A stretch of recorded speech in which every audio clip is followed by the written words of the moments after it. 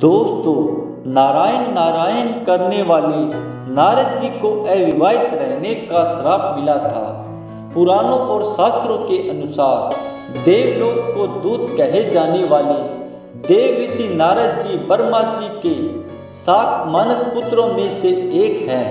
भगवान विष्णु के अनन्य भक्त में से एक नारद जी एक लोक से दूसरे लोक की परिक्रमा करते हुए सूचनाओं का आदान प्रदान करते हैं। नमस्कार दोस्तों, आप कैसे हैं?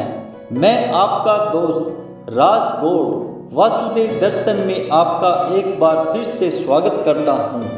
दोस्तों, आज हम आपके लिए एक ऐसी वीडियो लेके आए हैं, जिसके बारे में शायद आपको भी पता नहीं होगा।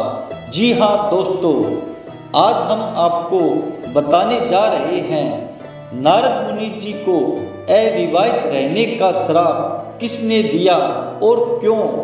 इस वीडियो को अंत तक बिना स्किप किए पूरा देखें। आज हम आपको बता रहे हैं, वैसे तो नारद मुनि को कई बार प्रेम हुआ, पर फिर भी किसी से भी नहीं हुई उनकी शादी। इसका कारण था, उनके पिता द्वारा अविवाहित होने का श्राप मिला था। आइए जानते हैं, ऐसा क्या हुआ कि वर्मा जी ने दिया नारद जी को अविवाहित रहने का श्राप। ब्रह्म वेतन पुराण, ब्रह्मखंड में एक कहानी का उल्लेख मिलता है, जिसमें नारद को उनके पिता वर्मा जी से आजीवन अविवाहित रहने का श्राप मिला था। दोस्तों, इस कहानी के अनुसार जब भगवान वर्मा जी सृष्टि का निर्माण कर रहे थे तो उनके चार पुत्र हुए। वो तपस्या पे निकल गए। इसके बाद बारी आई नारद मुनि जी की।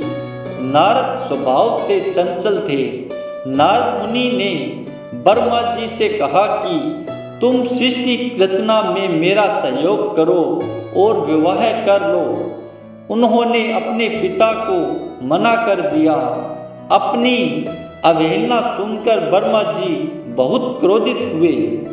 उन्होंने नारद को आजीवन अविवाहित रहने का श्राप देते हुए कहा, तुम जीवन में कई बार प्रेम का अनुभव करोगे, लेकिन तुम चाहकर भी कभी विवाह नहीं कर पाओगे।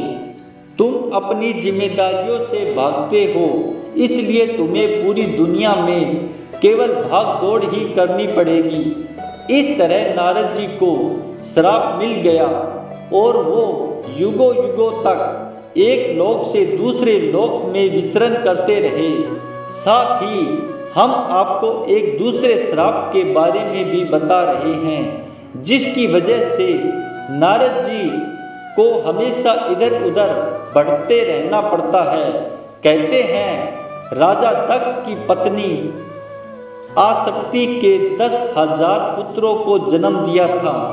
सभी पुत्रों को नारद जी ने मोक्ष का पाठ पढ़ा दिया, जिससे उनका मन मोह माया से दूर हो गया। फिर दक्ष ने पंचजनी से विवाह किया और उनके एक हज़ार पुत्र हुए। इन पुत्रों को भी नारद जी ने मोह माया से दूर रखना सिखा दिया। इस बात से क्रोधित होकर दक्ष ने नारद जी को श्राप दे दिया कि वे हमेशा इधर उधर भटकते रहेंगे। दोस्तों, यह जानकारी कैसी लगी? हमारे चैनल को सब्सक्राइब करें, कमेंट करें और लाइक करें ताकि ऐसी नई वीडियो आप तक मिलती रहे।